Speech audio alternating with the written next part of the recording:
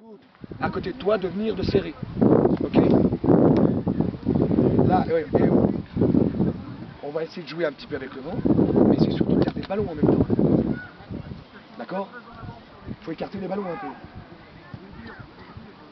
Devant, ça va ou pas? Et- Bon. Ça va, on le rentre dans l'un, mais ça Et sur les touches, sur les touches. Et sur les touches. On va changer. Et devant, hein. Change, change de place à ce moment-là, mets-toi en deuxième sauteur et tu sautes.